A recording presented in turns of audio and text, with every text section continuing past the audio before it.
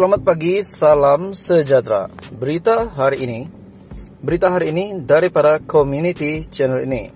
Baru-baru ini, channel ini telah membuat satu post ataupun satu status di community channel ini.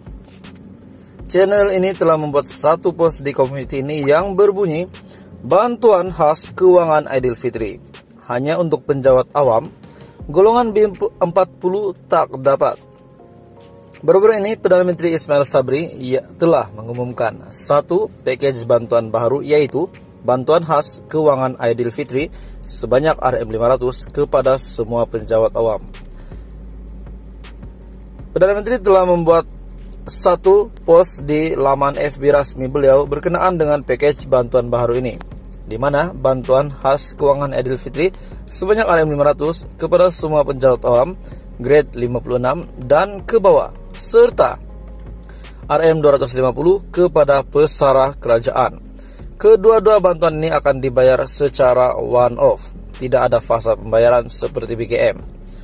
Dan untuk pengetahuan semua yang bakal terima bantuan ini, pembayaran bantuan khas keuangan Aidilfitri ini akan dibuat pada ujung bulan ini yaitu pada 25 April 2022. Kenyataan resmi daripada yang amat berbahagia, Dato Sri Ismail Sabri Yaakob Perdana Menteri kita. Melalui laman FB resmi beliau, beliau telah membuat satu pengumuman berita baik kepada semua pek, semua penjawat awam yang bergrade 56 dan ke bawah serta pesara kerajaan akan mendapat bantuan RM250.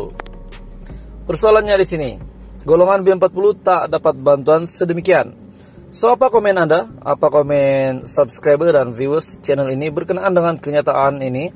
Berkenaan dengan package bantuan terbaru ini?